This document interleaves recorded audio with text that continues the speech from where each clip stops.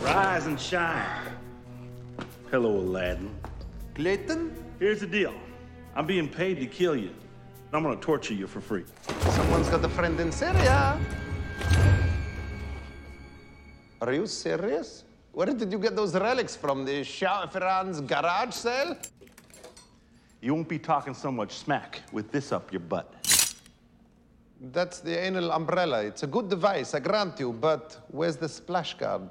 You're going to kill me and your white shirt. A bit. What else we got? I'm gonna love the next thing. I will be supportive. I'm gonna enjoy this now. No, don't. Don't, please don't! No!